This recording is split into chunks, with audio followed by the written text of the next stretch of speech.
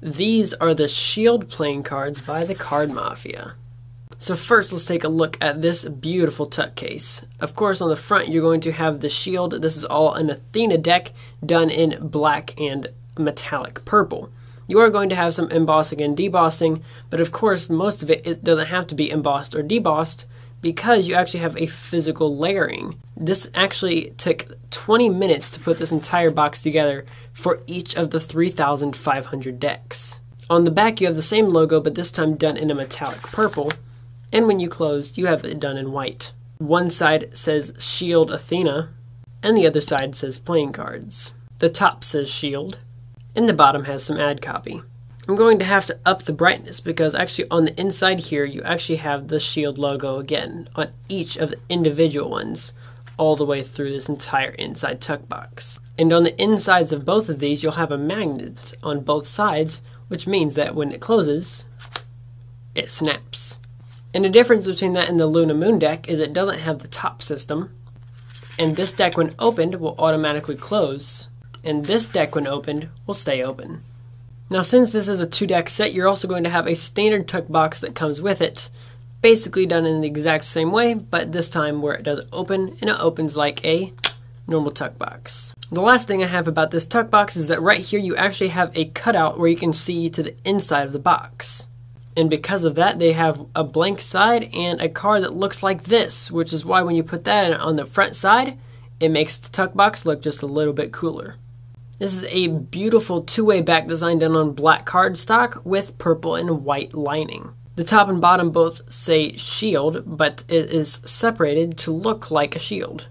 And the purple looks absolutely gorgeous when fanned.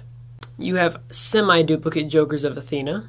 All of your suits have been redone to look like shields, so your hearts are going to look like heart shields, and all of the colors have been redone into purple and white as well. Then you have your club shields all the way through to your diamond shields and your spade shields.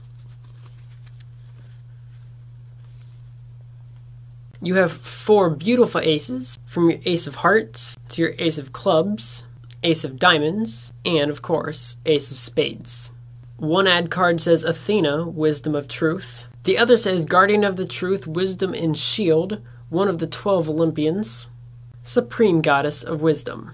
And coming from a Percy Jackson fan, these court cards are my favorite part of this deck. You have a different Greek god or goddess on each court card. So you have the Jack of Spades, Dionysus, Hera for your Queen of Spades, Zeus as your King of Spades, Hephaestus for your Jack of Diamonds, Queen of Diamonds as Artemis, the King of Diamonds is Ares, the King of Clubs is Hades. The Queen of Clubs is Demeter. The Jack of Clubs is Hermes. The King of Hearts is Poseidon. The Queen of Hearts is Athena. And the Jack of Hearts is Apollo. Now, obviously, this deck looks gorgeous, but there's still a few things you want to know. Now, first, can this deck faro? Now, from bottom to top, this deck faros beautifully, as you can see, perfectly every other, making moves like this, glide. Now, from top to bottom, which usually is where cards have a little bit more of a problem, and again, once again, every other.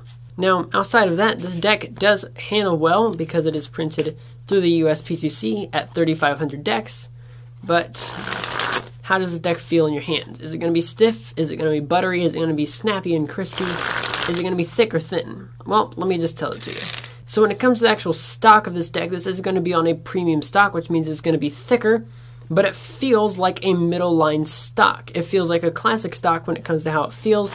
A little bit snappy, but definitely a little bit more on the buttery side. Has a good bit of both.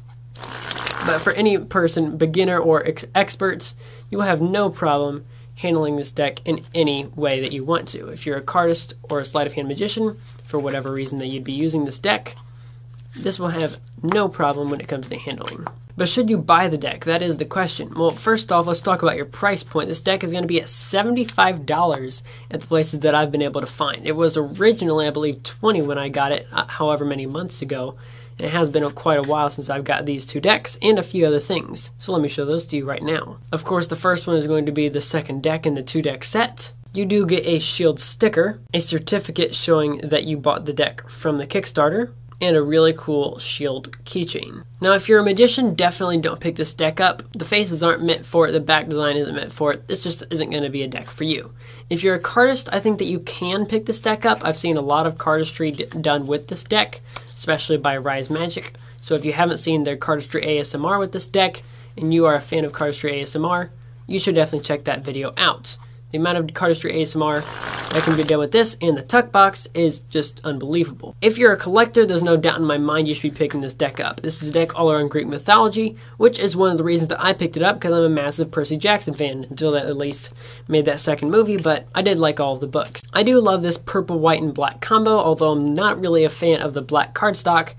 I wish they would have had an, at least a little bit of a different or a white border because that is going to mean that the corners are going to get dinged a lot faster. It does have a high price point though, which means a lot of collectors will like it. The box opens up, it's by the Card Mafia. There's a lot of reasons that you should be collecting this deck. Now, quite honestly, you probably shouldn't be playing games with it. That's probably not going to be the best thing. Number one, I don't want my friends playing with this deck because this deck is just going to be a little bit too nice for things that I want my friends to play with.